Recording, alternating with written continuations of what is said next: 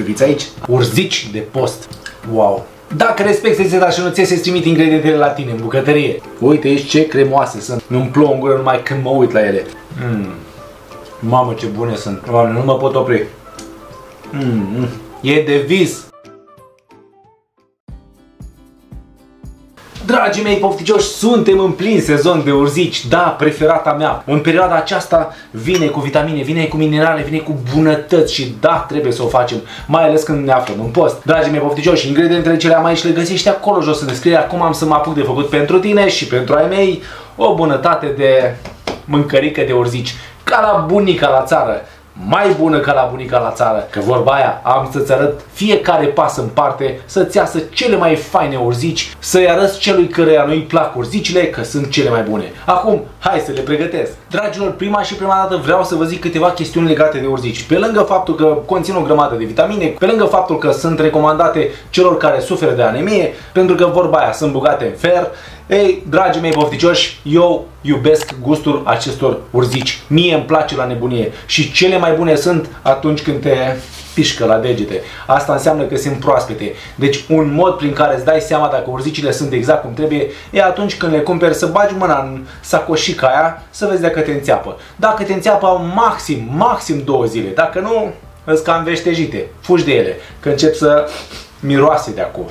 Dragii mei pofticioși, am numai vârfuri de lanci, cele mai bune, cele mai gustoase și de-a mi-a plăcut de cel care mi le-a vândut pentru că a spus cinstit și corect. I-am plătit cât a cerut și le-am luat. Dar sunt minunate, sunt zvelte, sunt exact cum trebuie să fie și da, abia aștept să o gătesc cu ele. Le-am băgat în lucru. Dragii mei pofticioși, cătațele pe alea mai mici, cătațele pe alea la început de sezon, că sunt cele mai micuțe și cele mai gustoase și cele mai aromate, clătiți-le în vreo 10 ape să scăpați de fiecare granulă de pământ ce o poate conține urzica. În cele ce urmează, hai să-ți arăt cum le pregătesc pe cele mai bune. Și pentru asta, ia câtă ce fac.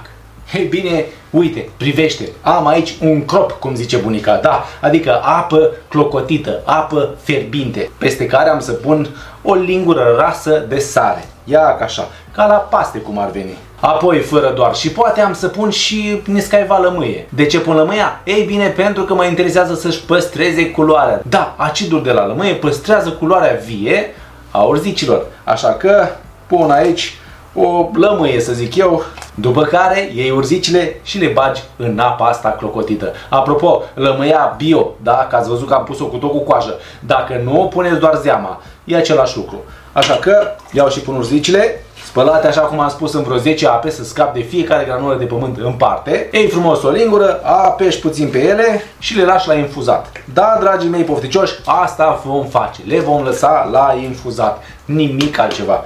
Timp în care eu am să mă ocup fără nicio problemă de restul rețetei și să vezi imediat ce trebuie să faci. Și eu zic să înceapă treaba, căci rețeta aceasta se face cât ai clipi foarte rapidă, foarte gustoasă, foarte aromată. N-are sens să-ți mai spun că e și garantată. Așa că am să pun frumos în această tigaie, această cratiță, să zic, cu gura largă, am să pun în jur de vreo 60-70 de ml de ulei de floarea soarelui. Dacă vrei, poți să pui și ulei de măsline, dacă ai. Dacă nu ai, pune de care ai. Ia că Uite, așa, apoi dintr-o căciulie serioasă de usturoi, să zic undeva la vreo 16 căței de usturoi, am să pun jumătate acum, împreună cu două cepe mari pe care le-am tocat mărunțel. Le pun aici. Peste cât se poate de rapid am să adaug și o linguriță rasă de sare. Țineți cont că am pus sare și la urzici în apa în care stau urzicile. Așa că s-ar putea să-și tragă de acolo cât trebuie. Însă e bine să iei treptat. Dacă va mai fi nevoie, e mai bine să pui decât să scoți, că n-ai cum. Pun și sarea și las totul până când se înmoaie, până când ceapa își lasă sucurile, până când începe să se caramelizeze și să scoată aromele alea nemaipomenite în evidență.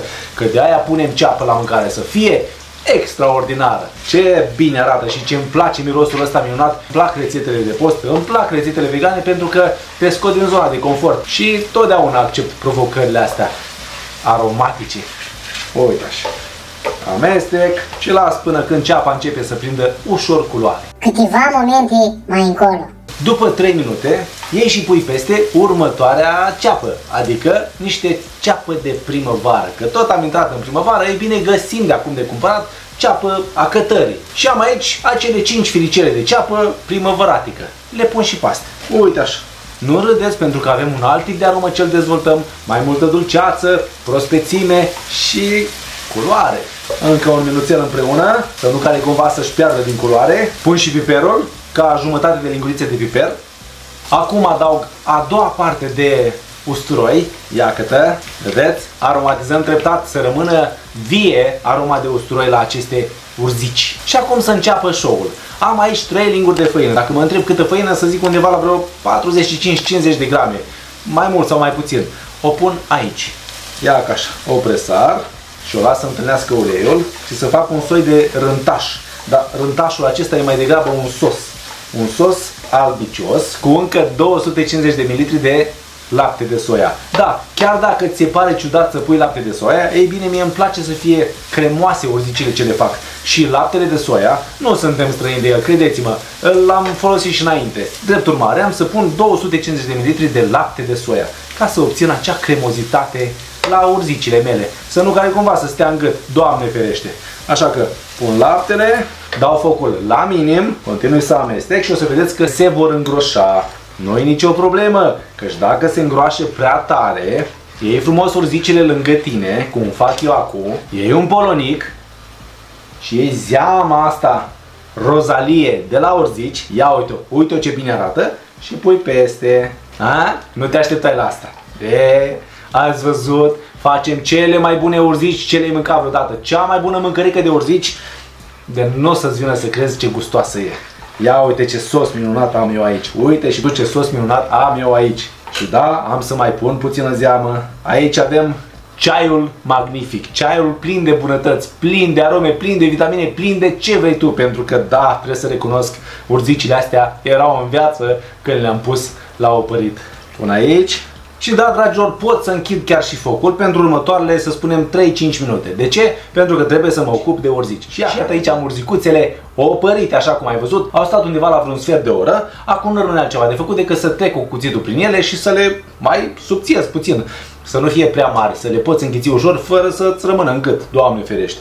Așa că ei și treci cu cuțitul de câteva ori, le toci cât de mărunt vrei tu. Unii sunt care le bagă și la blender, însă eu nu vreau să fac uh, verdeață în farfurie. Prefer să le simt consistența.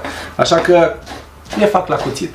Consider că sunt cele mai bune și cele mai aromate în genul acesta.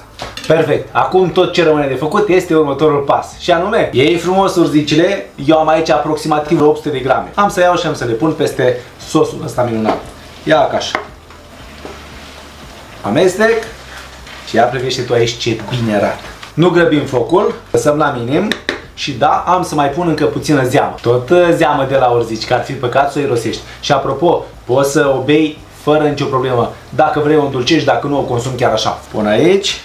Din momentul acesta am să mai las undeva la 7-8 minute să fiarbă la foc mărunt, să se facă urzicile cum trebuie și să se cunoască ingredientele între ele. Timp în care Evident, pui de mămăliguță, pofticiosule, pui de mămăliguță, ca să ieși cu toate în timp util. Căci mâncărica aceasta minunată se face foarte repede și, da, e pe cinste. Ce bine arată, ce bine arată. Hai, încă puțin și ne pregătim de mâncat cea mai șmecheră mâncărică de urzici ce ai mâncată vreodată. Două minute mai târziu. Dragilor, aici suntem gata. Urzicile au fiert exact cum trebuie să fie. Nu le-am grăbit absolut deloc.